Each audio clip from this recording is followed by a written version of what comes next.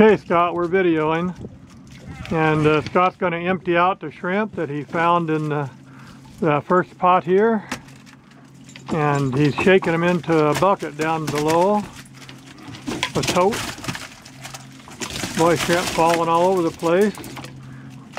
And from there he uh, cleans the shrimp, cuts, uh, chop, uh, peels off the head, and and he has a nice bunch of shrimp.